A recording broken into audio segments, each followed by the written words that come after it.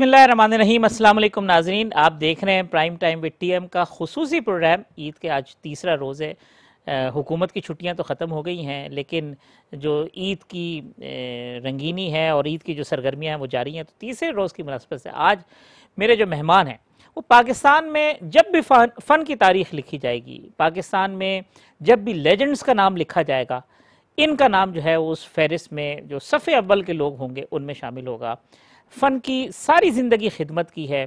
Pride of performance लिया, सितारा इम्तियाज़ हासिल किया, दुनिया के 35 से जायद ममालिक के अंदर परफॉर्म किया। पाकिस्तान का नाम जो है वो दुनिया के मुख्तलिफ़ जो ख़त्े हैं वहाँ पर रोशन किया।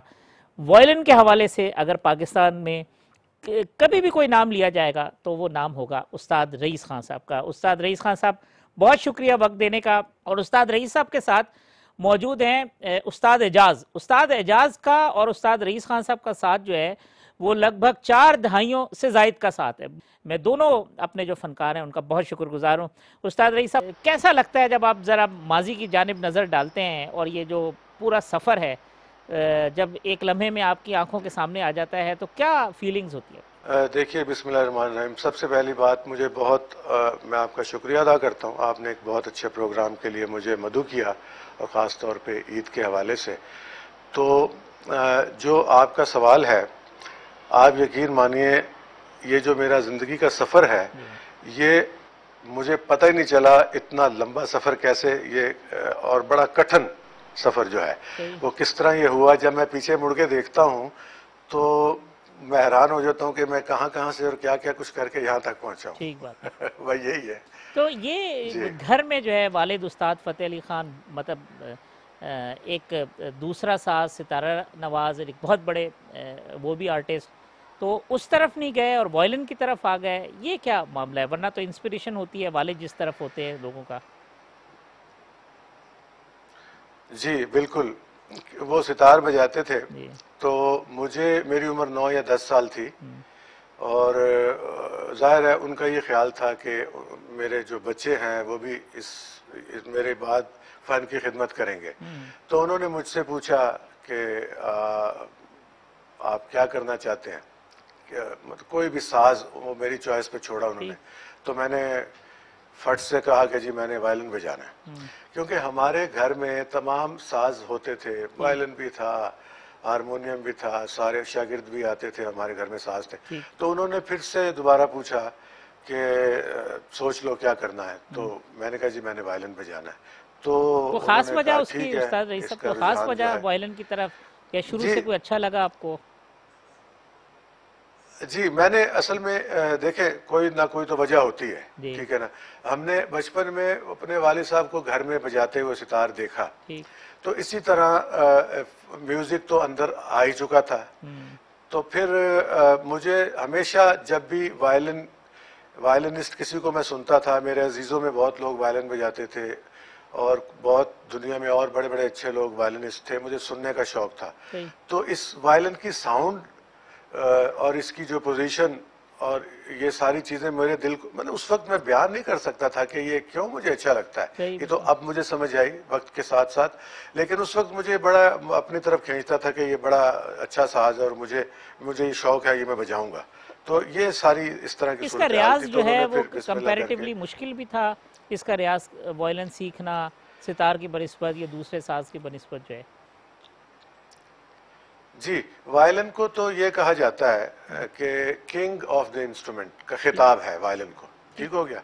ये साज जो है ये एक छोटे से साज पे पूरी पूरी दुनिया का म्यूज़िक जो है हम्म। इस पे इस पे बजाया जाता है इस छोटे से इंस्ट्रूमेंट के ऊपर। तो बस इसने मुझे अपनी तरफ़ बड़ा आ, माइल किया। और एक और बात मैं बता दूँ कि ये ये सबसे मुश्किल साजों में शुमार किया जाता है। सबसे मुश्किल साजों में। सबसे पहले ये होगा जब मैं आपको बजाऊँगा अभी लोग जानते हैं इसकी सबसे पहले इसकी पोजीशन बहुत मुश्किल है जब पकड़ते हैं। उसके बाद फिर इस पे आप कोई ऐसा निशान नहीं होता जिस जिस पे उंगलियाँ आपकी फिक्स निशान गिटार में है सितार में है बाकी साजों में है फ्लूट में है तो इसमें नहीं है। दूसरी मुश्किल इसकी ये है। और फिर तीसरी बात ये कि कोई कि दुनिया के किसी जगह पे हर तरह का म्यूज़िक जो है वो वायलिन के ऊपर बज सकता है। हम्म। और इससे बड़ी और क्या बात हो सकती है? और मुश्किल तो ये है। और ये रियाजत करनी पड़ती ये जो जो इसके अंदर सोलो परफॉर्मेंस थी या मतलब आपने किसी से इसमें इंस्पिरेशन ली? पहले कोई सोलो परफॉर्मर इस तरह के थे ये- क्या था कि जो आप आए कि जी इसमें जाएँ और इसको सोलो परफॉर्म करें? जी मेरे वालिद साहब क्योंकि सितार बजाते थे सोलो सितार बजाते थे। ठीक हो गया। तो हम उनको सुनते थे क्लासिक मेरा जो बेसिक है मुझे तो क्लासिकल हमारा ईस्टर्न क्लासिकल जो है वो उन्होंने राग ताल जो उन्होंने हमें सिखाए थे। तो उनको देख के मैंने उनसे बहुत कुछ यानी आप समझ लें कि खैर सिखाया तो उन्होंने मेरे उस्ताद भी वही हैं लेकिन जब वो बजाते थे लो, लोगों को लोगों को सिखाते थे ना सुन, सुनाते थे तो मुझे बड़ा अच्छा महसूस होता था। तो ये मेरे वायलिन आपने देखा ऑर्केस्ट्रा में बजता है। जी ऐसे ही। और पचास सौ दस बीस इकट्ठे तो मेरा शुरू से ये एम था कि मैं अपने वालिद की तरह जैसे वो सोलो सितार बजाते हैं। मैं ऑर्केस्ट्रा में मैंने कुछ टाइम बजाया। मैंने पाकिस्तान के सारे सिंगर्स के साथ बजाया। वो एक वो मेरा शुरू का एक था। लेकिन मेरी जो जो मेरा टारगेट था वो ये था कि मैं सोलोइस्ट बनूँगा। तो पाकिस्तान में अगर मैं ये कहूँ कि सोलो इंट्रोड्यूस अगर वायलिन कराया तो इसमें मेरा ही नाम है। मतलब बहुत बड़ी बात है बिल्कुल इसमें। लोग कह मैं अब क्या कहूँ? नहीं नहीं बिल्कुल इसमें कोई। शक की बात नहीं है और अल्लाह ताला ने जी, जो जी, आपका अ, को फन जो दिया उससे पूरी दुनिया उसकी मुतरफ है। बातें उस्ताद रही साहब बहुत होती रहेंगी। लेकिन यह कि लोग जो हैं हमारे नाजरन नाजरीन जो। है वो आपका जो। फन है उससे भी महजूज होना चाहते हैं।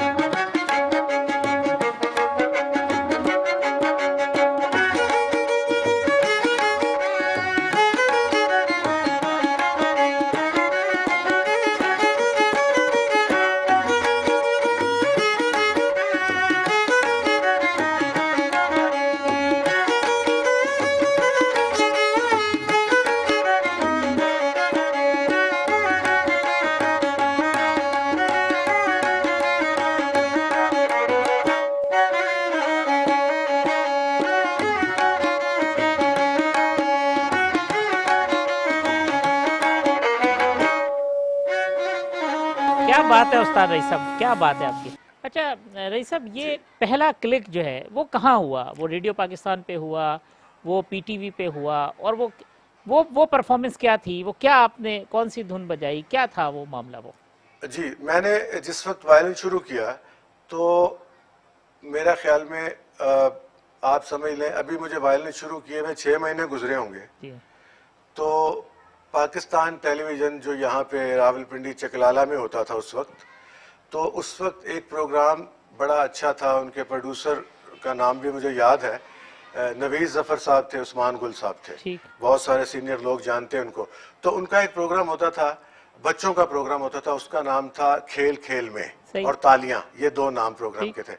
तो उन्होंने सबसे पहले वायलिन स्टार्ट करने के एन छः महीने के बाद मैंने सबसे पहली धुन बजाई थी बच्चों के प्रोग्राम में सम्मी मेरी बार जो अच्छा। हमारी फोक ट्यून है तो वो मैंने उसमें बजाई थी तो उस वक्त टीवी में आना एक ऐसा था जैसे जी, जी, मतलब बिल्कुल। आपको पता है कि वो अखबार में हाँ, नाम छपता तो था तो लोग अखबार ढूंढते थे टीवी में आता था तो पूरे मोहल्ले के अंदर जो है ना हाँ। वो एक धूम मची होती हाँ। थी तो मैंने जब वो मैंने जब वो बजाया और जब वो टेलीकास्ट हुआ तो फिर मैं पूरे अपने इलाके पूरे महल्ले का हीरो था जी लोग मुझे मिलने आ रहे थे बच्चे दोस्त। यार तो वो एक इब्तदाई फरमाइशें तो, जो आपसे होती थी उसमें से एक अगर कुछ इनायत हो जाए जो इब्तदा के दिनों की जो फरमाइशें थी आपको जो फिर आपको शुरू शुरू में जब आप सोलोइस्ट आने शुरू हुए तो वो कौन सी चीज़ें थी अगर वो थोड़ी सी इनायत कर दें। देखें जैसे मिसाल के तौर पे जो मैंने गाना बताया आपको अनारकली फ़िल्म का। रशीद अतरे मरहूम की मौसी मौसीकी उसकी फरमाइश बहुत होती थी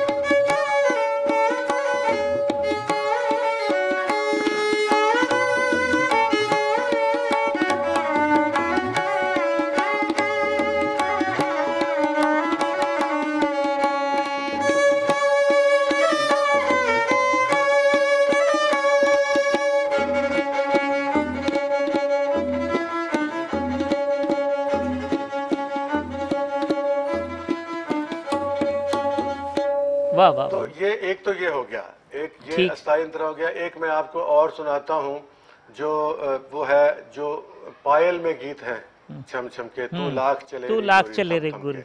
उसकी एक लाइन एक जी। जी तो वो आ, आ, आ, कातिल फ़िल्म का है जो। इकबाल बानो की आवाज़ में।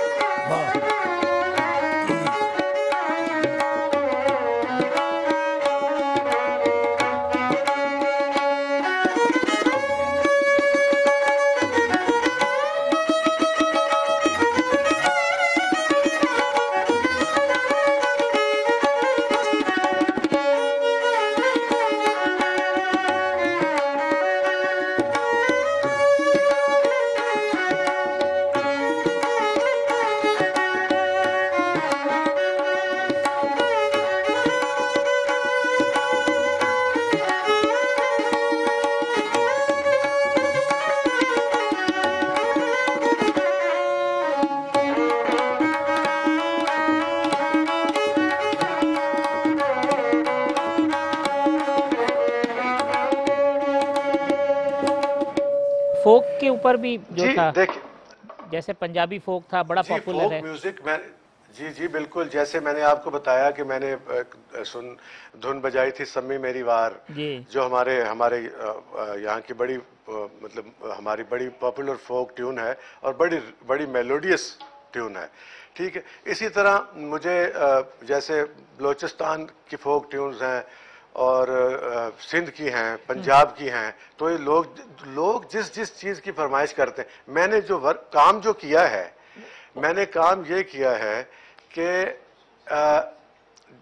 कोई जो पब्लिक में लोग बैठे हैं वो किसी किस्म का मेरा जो शौक था मेरा एम था ठीक है भूल चुक बंदे से हो जाती। है लेकिन अभी तक ये सूरत हाल है कि वो कहते हैं ना जी हमें पंजाबी गाना सुनाए और फलाना सुनाए उर्दू सुनाए और ये कोई नज्म है फैज साहब की वो सुनाए कोई गज़ल है मेहदी सिंह की हाँ। वो सुनाए तो जो कोई कह मुझे खुशी इस बात की होती है कि लोगों की मर्ज़ी की चीज़ मैं सुना रहा हूँ जो वो सुनना चाहिए चाहते लोग। फिर enjoy भी और हर एक का अपना टेस्ट होता है जी जी जी बिल्कुल जब आप उनकी मर्ज़ी की चीज़ सुनाते हैं तो वो फिर देखे आप मुख्तलिफ़ रंग के लोग हैं कोई फोक सुनना चाहता है कोई गज़ल सुनना चाहता है तो इस तरह तो वो अल्लाह के फजल से जब कोई कहता है तो वो हम उसको पूरा करते हैं ये उसकी मेहरबानी है। हम संभाल के रख रहे हैं अपने इस इस विरसे को अपने इस एसेट को अपने इन फनकारों को हम कोई तवज्जो दे रहे हैं उन पे या नहीं बस ठीक है। हम जो है वो जदीद दौर की रंगीनियों में ज़्यादा खो गए देखें वक्त के साथ ज़रूर आपके थोड़ा सा म्यूज़िक में ड्रामा में फ़िल्म में हर चीज़ में आपने देखा चेंज आया ड्रेस हो गया हेयर स्टाइल हो गया हर चीज़ में चेंज आता है वक्त के साथ आता है ज़रूरी आता है। तो अ, मगर ये है कि जो पहला आपने कहा हम थोड़े से ये जो हमारे कुछ साज थे मसलन सारंगी ठीक है? सारंगी एक बड़ा खूबसूरत साज है। जो अ, अ, मतलब जिस जो बेसिक क्लासिकल म्यूज़िक है उसमें ये शुमार होता है। और इस तरह के और भी साज हैं। उसको संभालने के लिए कौन लोग होते हैं? जो करने वाले हैं वो तो अपना खून दे रहे हैं वो तो काम कर रहे हैं। इसके बावजूद सारंगी नवाज़ आज भी सारंगी बजाना चाहते हैं और जो क्लासिकल गाना चाहते हैं और मौजूद हैं पाकिस्तान में हैं। किनको करना चाहिए? मैं आपको इस वक्त तो मैं बिल्कुल खरी बात करूँगा। जिनको करना चाहिए वो नहीं करते तो फिर क्या हो सकता है? इस पूरे अरसे में जो पाकिस्तान में जो हुक्मरान हैं वो भी बड़े मौसीकी के शौकीन लोग रहे हैं। तो कौन ज़्यादा ऐसा था जो। कि लगा आपको कि यार इसको बहुत ज़्यादा शौक है? वो मुशर्रफ साहब थे वो नवाज़ शरीफ थे वो और थे वो कौन थे ऐसे आपके ख्याल में? जो दो नाम आपने लिए ना हम्म। जनरल मुशर्रफ और मियाँ मोहम्मद नवाज़ शरीफ। हमें तो यही दोनों मौसीकी में नज़र आए हैं जिन्होंने हमें बड़ा बड़ा हौसला अफजाई की अप्रिशिएट किया हमें सुना बड़ी इज़्ज़त दी हमें बड़ा सराहा और जिसमें ये दो नाम आपने लिए बिल्कुल यही दो। देखिए ये पॉलिटिकली मामला वो जाने उनका काम जाने वो हमें तो उससे वो नहीं है। लेकिन मेरे पसंदीदा लीडर ये दो ही हैं। परवेज तो मुशर्रफ और, और दोनों को शौक साहब हैं वो बड़े दोनों को शौक भी बहुत जी मियाँ नवाज़ शरीफ साहब बड़े अच्छे बड़े अच्छे लिसनर हैं और बड़ी हौसला अफजाई करते हैं आर्टिस्ट कहते हैं गाते भी बड़ा अच्छा है कभी ऐसा तो, हुआ कि नवाज़ शरीफ साहब ने गाया हो जी बिल्कुल। ये बहुत पुरानी बात है। मतलब उनको ये ज़ाहिर है म्यूज़िक सुनने का शौक था तो इसी तरह जलसा भी तो गाते थे ना वो आपने देखा होगा उनका एक एक पूरा हामिद अली खान साहब के साथ। जी, जी। तो ये ये जिस ये शौक होना तो ये बड़ी नायाब लोगों की चीज़ें हैं ये। तो तो, ये दो नाम जो आपने लिए तो हमारे लिए भी यही वो है। तो परवेज मुशर्रफ साहब की जो खसूसी फरमाइश होती थी वो क्या होती थी उस्ताद साहब? अब मुझे ये बताएँ इस तरह के सवाल का मैं क्या करूँ? नहीं ये तो अब आपको कुछ राज तो कुछ रास्तों कौम के सामने बताने होंगे ना कि जी क्या? हाँ नहीं नहीं राज क्या? खैर ये राज तो- तो, ऐसे ही नहीं देखिए इंसान जो है ना इंसान इंसान एक ऐसी चीज़ है कि फनून लतीफ़ा से उसका लिंक है ही है। जी। अगर वो शायरी सुनते हैं अगर वो कोई कोई गज़ल सुनते हैं अगर वो कोई गीत सुनते हैं ये तो हर इंसान के अंदर होता है ठीक है? तो इसी तरह हम जब सुनाते थे उनको तो वो बड़े बड़े अच्छे गानों की फरमाइश करते थे। चलें परवेज मुशर्रफ साहब की जो खसूसी फरमाइश हुआ करती थी उनमें से कोई एक जो है वो आप अगर हमें सुना दें तो। आपका कोई इरादा मुझे कुछ ऐसा कुछ खतरनाक सा ही लग रहा है। नहीं मैं ये कि जरा- जरा मुशर्रफ साहब और नवाज़ शरीफ साहब चूँकि फन के कदरदान तो है इसकी तो सिर्फ़ जी जी इसमें कोई शक नहीं इसमें तो कोई शक जरा नहीं दो लोगों राय को है ही पता नहीं चले कि एक तो पर, के एक आप हमें परवेज मुशरफ साहब लोगों को पता है यूट्यूब पे सब कुछ है मैं जी जी बिल्कुल बिल्कुल। और फिर उसके बाद नवाज़ शरीफ साहब हो जाए।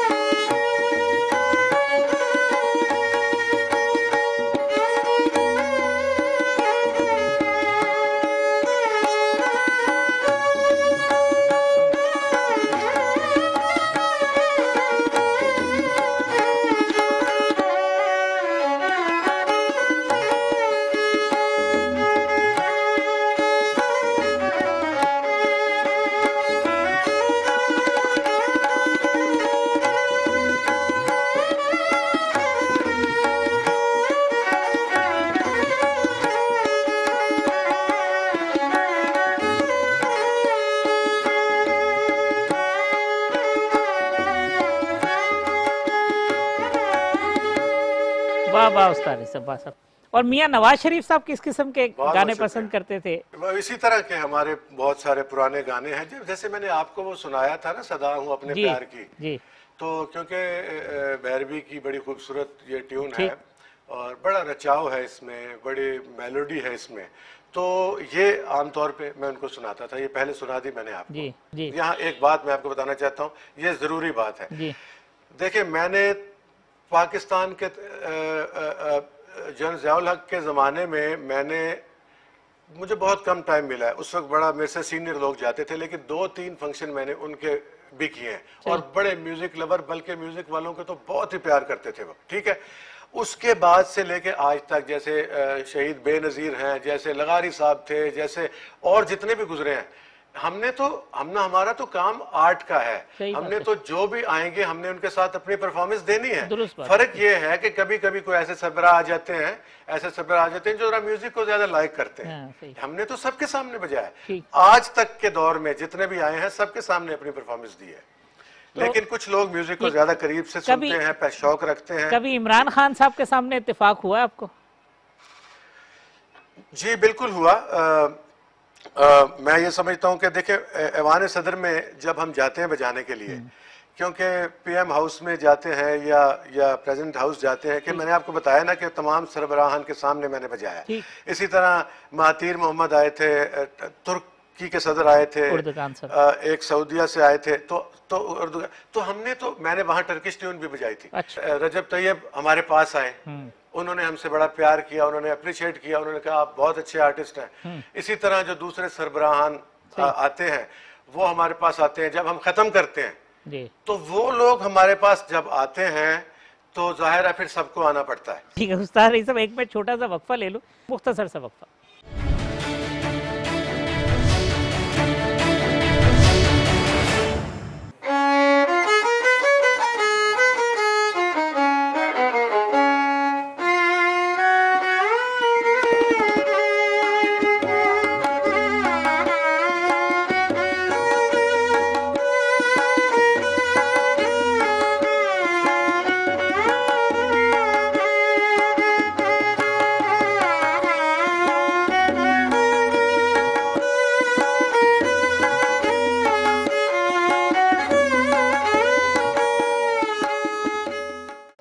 वेलकम बैक नाजिन उस्ताद रईस साहब हमारे साथ मौजूद हैं। उस्ताद साहब ये पाकिस्तान से बाहर आपने जो परफॉर्म किया उसमें कोई यादगार तरीन वाक़ हो आपका कि क्या को, जो आपको कभी ना भूलता हो पाकिस्तान से बाहर गए हो? मेरी तो बेशुमार परफॉर्मेंसेज हैं और अल्लाह के फजल से सारी आधी तो ऐसी हैं जो बड़ी मुझे यादगार है। मुझे अच्छा। बड़ा अच्छा महसूस होता है जब वो मुझे याद होता है। लेकिन एक मैंने जनरल असम्बली जनेवा में एक मैंने परफॉर्मेंस दी थी। तो वहाँ अल्लाह ने ऐसी मेहरबानी की कि इस तरह की धुआंधार परफॉर्मेंस हुई जिसमें मेरा हमारा अपना एक म्यूज़िक था जो पाकिस्तान का फोक म्यूज़िक था उसके साथ मिला के मैंने इंटरनेशनल चीज़ें उसके साथ ऐड करके तबले के साथ बजाई और जो सिम्फनी मोजार्ट की सिम्फनी फोर्टी ऑफ़ मोजार्ट तो वो उसको साथ में शामिल किया और साथ में मुख्तलिफ़ म्यूज़िक तो मैं बताना ये चाहता हूँ वो इतनी यादगार थी कि एक तो वो जगह ऐसी है फिर हम्म। दुनिया के मुख्तलिफ़ ममालिक के लोग हैं फिर वो आपके लिए पाँच मिनट तक खड़े रहे और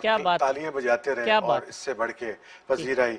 तो इसमें मेरे मुल्क का जो नाम रोशन हुआ और मैं इतना खुश था कि मुझे समझ नहीं आ रही थी कि और फिर वो बाद में सब लोग मुझसे मिले भी। अच्छा आपने ज़िक्र किया था कि जी मुख्तलिफ़ उसका तो फैज़ साहब की जो नज़में हैं वो परफॉर्म आपने की जैसे लाजिम है कि हम भी देखेंगे कभी इसकी हुई चीज़ें और ये ये कैसा लगा आपको इसकी परफॉर्मेंस जो फैज साहब की काफ़ी चीज़ें मैंने एक प्रोग्राम किया था उसमें मैंने एक उनका एक नज्म थी। मुझसे पहली सी मोहब्बत मेरे महबूब ना मांग ये भी जी, ये भी फैज जी मैं इसी का ज़िक्र करने लगा कि ये भी जी ये भी फैज क्या खूबसूरत नज्म है और क्या कमाल क्या की धुन है और क्या गाया है। हम्म। कमाल है। जी हाँ जी हाँ और ये जो है ये भी बजाई बहुत सारी जगहों पे। और हम देखेंगे लाजिम है कि हम भी देखेंगे। ये भी कभी आपने बजाई? ये भी बजाई। अगर ये ये हाँ, दोनों थोड़ी हाँ, थोड़ी सी हो जाए मुझसे पहली सी मोहब्बत और लाजिम है कि हम भी देखेंगे तो फिर जो अच्छा जी। फैज के चाहने वाले हैं उनका भी जो है वो चार चाल लग जाएँगे दोबाला हो जाएगा मामला। ज़रूर मैं मैं थोड़ी थोड़ी आपको दोनों सुनाता हूँ।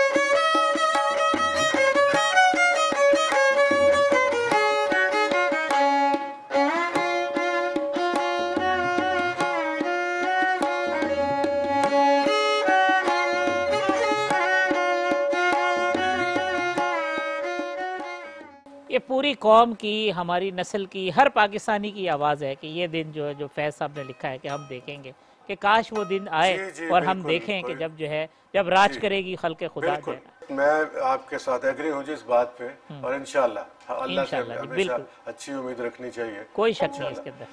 उनकी जो नज्म है मुझसे पहली सी मोहब्बत। सुना रहा हूँ। मुझसे पहली सी मोहब्बत मेरे महबूब ना मांग क्या बात है।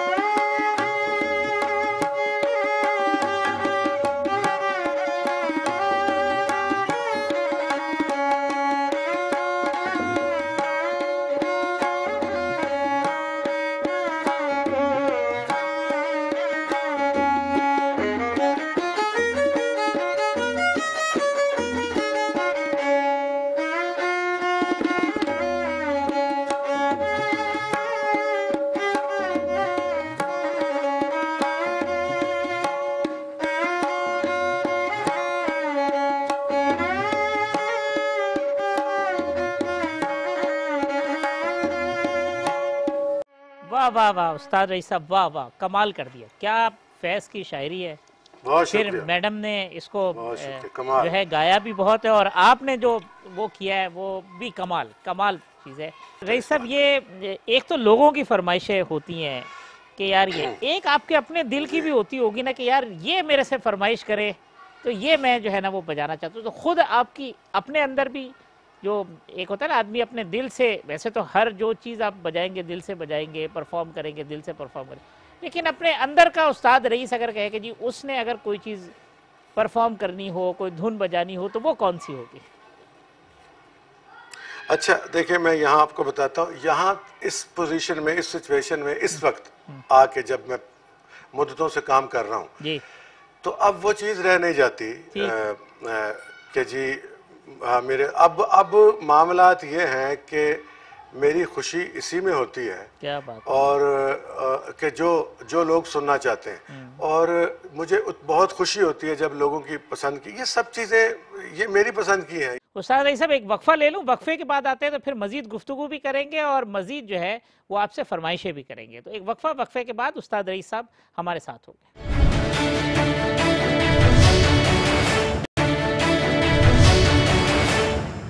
वेलकम बैक नाजरीन पाकिस्तान के लेजेंड उस्ताद रईस खान साहब हमारे मेहमान हैं।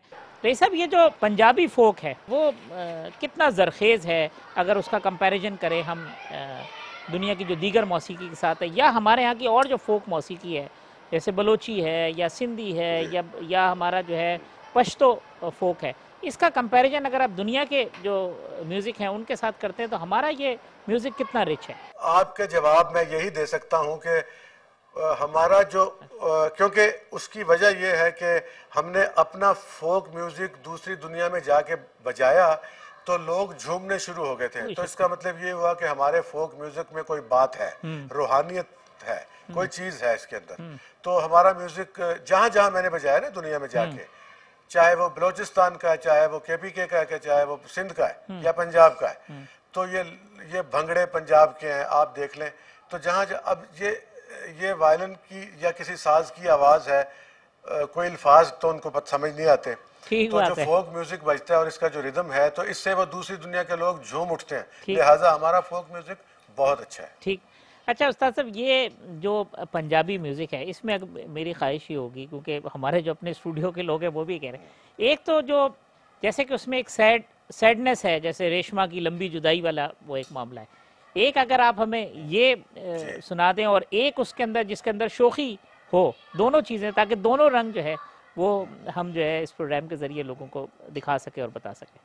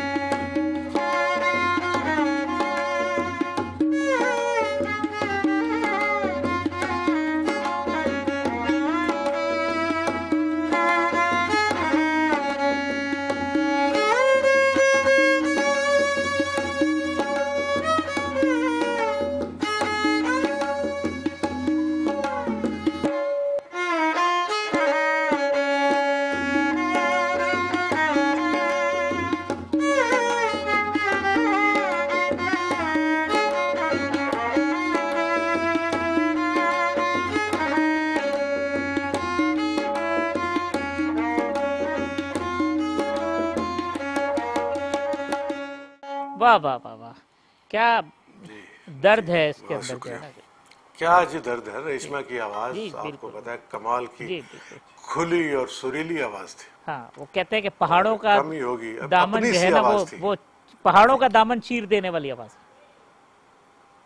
जी जी जी बिल्कुल बिल्कुल ऐसी आवाज़ ही थी। बड़ी पावरफुल और बड़ी सुर में और बड़ी मेलोडी बगैर किसी किसी साज के भी कोई गाती बिल्कुल थी। कोई बस ये अल्लाह तो ताला जिसको नवाजता है और हो क्या बिल्कुल उसमें और जो जी जी बिल्कुल। सच्ची आवाज़ हाँ। खरी आवाज़। तो ये तो हो गया एक सैड पंजाब पंजाबी का जो है ना। अब अगर हम उसकी तरफ़। शोक की तरफ़ चले जाए तो। अगर शोखी पे आते हैं तो फिर ये जरा सुने। कि अनायत हुसैन भट्टी का एक गाना। देखिए अच्छा। मैं आपको ये बताना चाहता हूँ कि हमने हमने नज्म भी बजाई हाँ। हमने गज़ल भी बजाई हमने गीत भी बजाया। ठीक है? और मुख्तलिफ़ स्टाइल दिए अब देखें वायलिन पे क्या ये भी हो सकता है? और कितनी खूबसूरत धुन है ये। अनायत हुसैन भट्टी की गाई हुई।